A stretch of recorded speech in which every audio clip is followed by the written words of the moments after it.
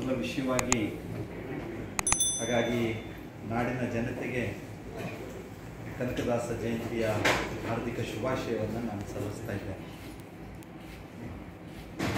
ನಾನು ಕಂಡಂತಹ ಅತ್ಯಂತ ಶ್ರೇಷ್ಠ ಸಂತರಲ್ಲಿ ಕನಕದಾಸರು ಒಬ್ಬರು ನಮ್ಮ ನಾಡಿಗೆ ಬಹಳ ದೊಡ್ಡ ಕೀರ್ತಿಯನ್ನು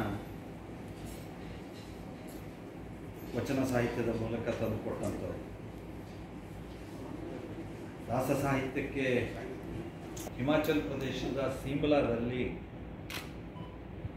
ಎಂಬತ್ತೆರಡನೆಯ ಪೀಠಾಸೀನಾಧಿಕಾರಿಗಳ ಸಮ್ಮೇಳನ ನಡೀತು.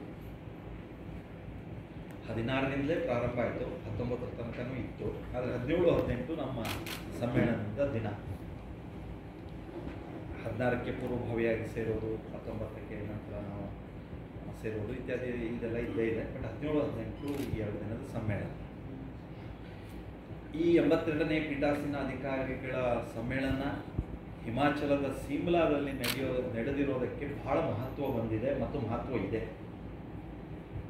ಯಾಕೆ ಅಂದರೆ ಹತ್ತೊಂಬತ್ತು ನೂರ ಇಪ್ಪತ್ತೊಂದರಲ್ಲಿ ಹತ್ತೊಂಬತ್ತು ನೂರ ಇಪ್ಪತ್ತೊಂದರಲ್ಲಿ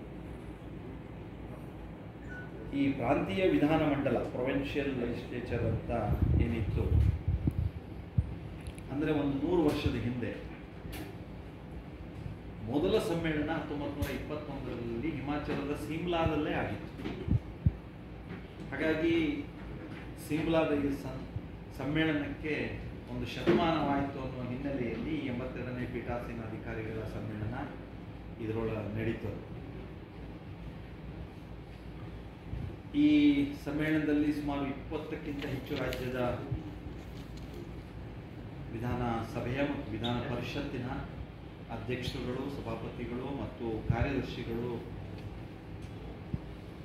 ಅಧಿಕಾರಿಗಳು ಅಪೇಕ್ಷಿತರಿದ್ದರು ಅಲ್ಲ ಭಾಗವಹಿಸಿದ್ದಾರೆ ಇಪ್ಪತ್ತಕ್ಕಿಂತ ಹೆಚ್ಚು ರಾಜ್ಯದವರು.